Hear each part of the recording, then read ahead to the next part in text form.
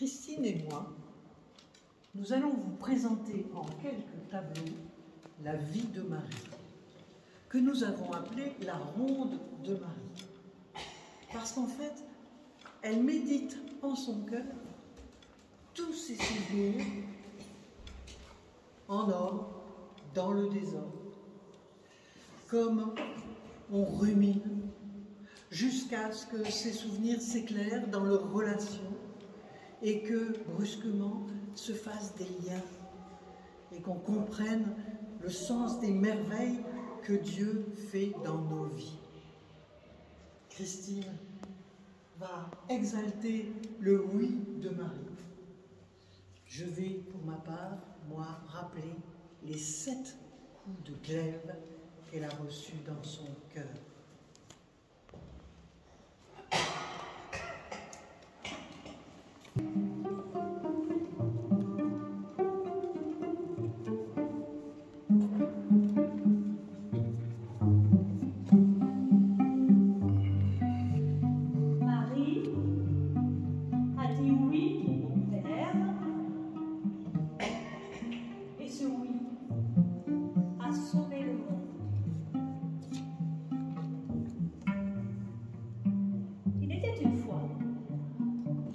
de toute jeune fille appelée Marie. Humblement occupée à sa maisonnée, quand soudain, un ange apparut et demanda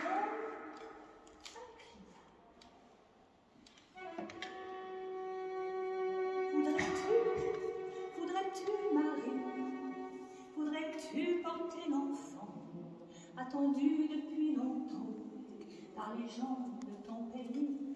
Voudrais-tu marier Voudrais-tu porter l'enfant? Attendu depuis longtemps Le voudrais-tu marier Et Marie a dit oui.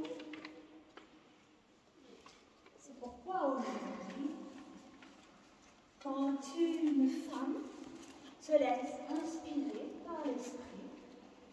Marie, tourterelle, chante, emmène.